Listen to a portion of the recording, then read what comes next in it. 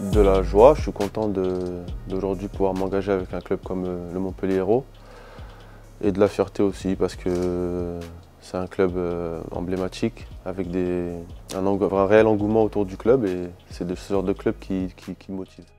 Ouais, malheureusement, il s'est fait une, grosse blessure. C'est un contexte particulier euh, pour moi. Non, après, c'est triste à dire, mais c'est un peu le foot qui est fait ainsi.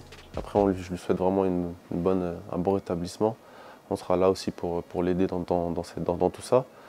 Et ça fait que ça a un peu accéléré les choses, ça a fait euh, un transfert rapide et on va faire, on fait avec. Ouais, je vais retrouver Jean-Yves, je l'ai connu euh, à, Strasbourg. Après, j'étais un peu plus jeune.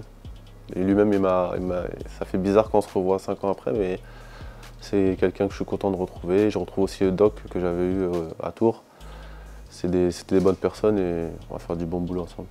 Mes objectifs personnels sont souvent rattachés à ceux du collectif. Après, je pense que personnellement, c'est être épanoui. Ça ne va pas être compliqué puisque je le suis déjà et je ne suis pas allé sur le terrain. Donc, euh, prendre du plaisir, gagner des matchs, être performant et rendre tout le monde heureux. Ah, j'ai suivi les dernières performances, j'ai suivi euh, une éclatante sortie à Brest.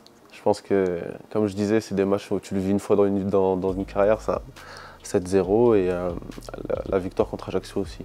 Vraiment solide, un bon groupe qui a l'air très solidaire, très euh, les uns pour les autres et c'est très bien.